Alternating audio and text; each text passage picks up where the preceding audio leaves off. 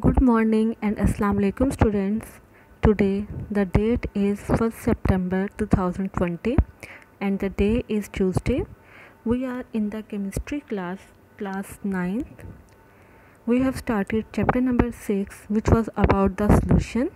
In the last lecture we discussed about concentration units in which we said that concentration is the proportion of a solute in a solution ठीक है solution के अंदर जो हमारा solute का part होगा, उसको हम लोग कंसनट्रेशन का नाम दिया था। और हमने ये कहा था कि कंसनट्रेशन यूनिट्स को फाइंड आउट करने के लिए हमारे पास कुछ मेथड्स हैं जिनको हम लोग कंसनट्रेशन यूनिट्स का नाम देते हैं। कंसनट्रेशन को फाइंड आउट करने के लिए जो मेथड है, उसको हम लोग कंसनट्रेशन यूनिट्स का नाम देते हैं। तो इन यूनिट्स को हम लोग वन बाय वन डिस्कस करते हैं। जो पहला हमारे पास मेथड है कंसनट्रेशन यूनिट्स को फाइंड आउट करने का it is the percentage method percentage percentage unit of concentration refers to the percentage of solute present in a solution, ठीक है? परसेंटेज यूनिट ऑफ़ कंसनट्रेशन किसको कहते हैं?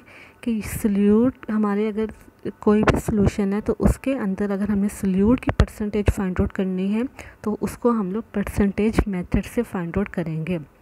The percentage of solute can be expressed by mass और by volume कि हमारे पास जो solute है वो हाँ जैसे हम लोगों ने लास्ट टाइम डिस्कस किया था कि जो सोल्यूट है वो लिक्विड भी हो सकता है सॉलिड भी हो सकती है, वो गैस भी हो सकता है।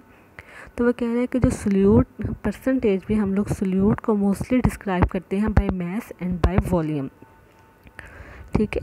तो परसेंटेज को किस तरह it can be expressed in terms of percentage composition by four different ways percentage mass by mass it is the number of gram of solute in 100 grams of solution for example 10% mass by mass sugar solution means 10 gram of sugar is dissolved in 90 gram of water to make 100 gram of solution अगर हम लोगों ने percentage find out करनी है तो उसके लिए हमारे पास फोर मेथड हैं ठीक है फ़र्स्ट मेथड है mass by mass it means that कि हम हमारा जो सलूट है वो मैस है में है और हमारा जो सोल्यूशन है, वो भी मैथ्स में है। यानी कि हम लोग दोनों की जो रेशो है, उसको मैथ्स में हम लोगों ने यूज़ करना है। और दोनों के लिए जो हम लोग यूनिट लगाएँगे, वो ग्राम का यूनिट लगाएँगे, क्योंकि हमें पता है मैथ्स के लिए जो यूनिट यूज़ होता है, वो ग्राम का यूनिट यूज़ होता है। तो वही कह रहे हैं कि it is the number of grams of solute dissolve in hundred grams of solution highlight करें इस डेफिनेशन को। कि सल्यूट के जितने ग्राम्स होंगे, उनको हम लोग हंड्रेड ग्राम्स ऑफ़ सोल्यूशन में डिसॉल्व करते हैं तो वो हमारे पास मैस बाय मैस परसेंटेज होगा। Mass by mass percentage is equal to mass of solute which will be in gram और mass of solute plus mass of solvent ये दोनों मिलकर हमारे पास सोल्यूशन बनाएँगे। इसको अगर हम लोग हंड्रेड से मल्टीप्लाई कर देंगे तो हमारे पास इसकी परसेंटेज आ जाएगी। Mass of solute which is in gram over mass of solution, it is also in gram, multiply by 100 percentage mass by volume अगर हमारे पास सोल्यूट मैस में है और हमारे पास सोल्यूशन वॉल्यूम में है तो उसको हम लोग कैसे फाइंड आउट करेंगे?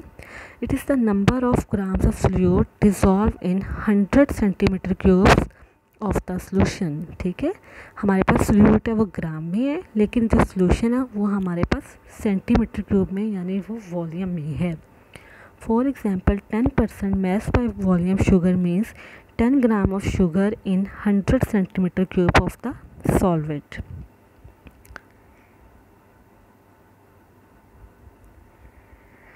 the exact volume of solvent is not mention और इट इज़ नॉट नॉन ठीक है? Mass by volume is equal to mass of solute in gram over volume of solution in centimeter cube multiplied by 100. percentage volume by volume mass it is the volume in centimeter cube of solute dissolved in 100 gram of the solution हमारे पास जो solute है, वो volume और जो mass है, वो हमारे पास सोल्यूशन का है, ठीक है? जो हमारे पास नोमिनेटर में जो हमारे पास होगा, वो सोल्यूट को और जो डिनोमिनेटर में जो वैल्यूज़ आएँगे, वो हमारे सोल्यूशन को डिस्क्राइब करेंगी। For example ten percent volume by mass alcohol solution in water mean 10 centimeter cube of alcohol dissolved in unknown volume of water. So that the total mass of the solution is 100 gram In such solution, the mass of solution is under consideration. Total volume of the solution is not considered. ठीक है तो वो कह रहे हैं कि जो हमारे पास जो मैस है वो ग्राम में है तो it is impossible to find the exact volume of the solution so that the unknown volume will be taken to make it hundred gram कि हम लोग कोई भी अननोन वॉल्यूम लेंगे लेकिन हमारा जो सोल्यूट होगा वो टेन टेन होगा, लेकिन जो सॉल्वेंट होगा वो अन होगा so that we can make it hundred gram volume by mass percentage is equal to volume of solute in centimetre cube over mass of solution gram multiply by hundred similarly last we have percentage volume by volume it is the volume in centimetre cube of solute dissolve per hundred centimetre cube of the solution for example thirty percent alcohol solution means thirty centimetre cube of alcohol dissolve in sufficient amount of water so that the total volume of the solution become hundred centimetre cube अगर thirty percent है तो it means that कि हमारे पास total hundred percent और thirty percent उसमें हमारे पास सोल्यूट होगा और जो रिमेनिंग पार्ट है वो हमारा लिक्विड होगा। Volume by volume percentage is equal to volume of solute over volume of solution multiply by hundred next we have example six point one if we add five centimetre cube of acetone in water to prepare ninety centimetre cube of aqueous solution calculate the concentration volume by volume of this solution solution है हमारे पास। सबसे पहले हम लोग इसमें data लिखेंगे, ठीक है? तो डाटा हमारे पास होगा using the relationship volume by volume हमारे पास सबसे पहले डाटा लिखेंगे। डाटा हमारे पास है वॉल्यूम ऑफ़ द सोल्यूट है, वो फाइव सेंटीमीटर क्यूब है। और वॉल्यूम ऑफ़ द सोल्यूशन है हमारे पास 90 सेंटीमीटर क्यूब है। आपने सबसे पहले इसमें डाटा मेंशन करना है, फिर आपने इसका सोल्यूशन फाइंड आउट करना है फार्मूला लगाकर। तो फार्मूला हमारे पास है तो दोनों हमारे पास सोल्यूट और सॉल्वेंट दोनों हमारे पास सेंटीमीटर क्यूब है। इट मीन्स डेट दोनों ही हमारे पास वॉल्यूम में है।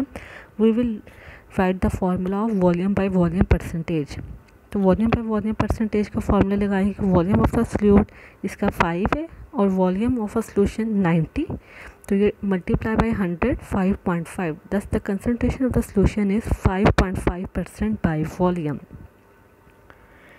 second method है हमारे पास मोलैरिटी का। फ़र्स्ट मेथड था हमारे पास परसेंटेज का।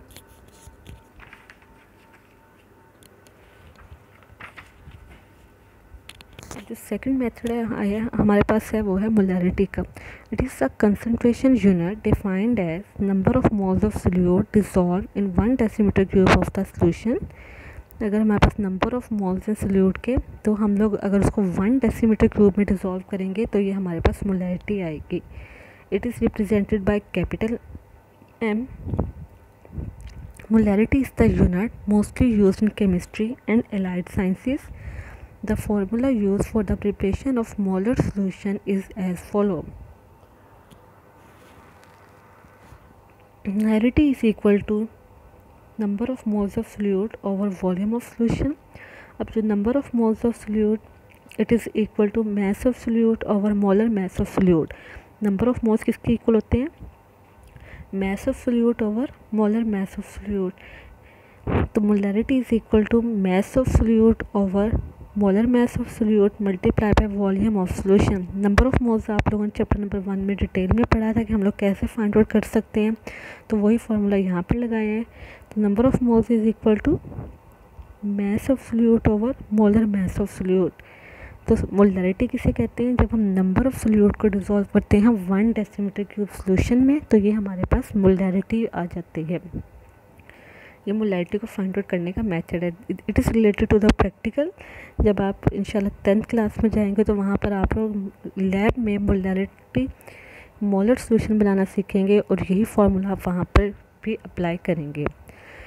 It was our overall today's lecture if you find any difficulty और any problem in understanding the point you can highlight the point and can ask queries thank you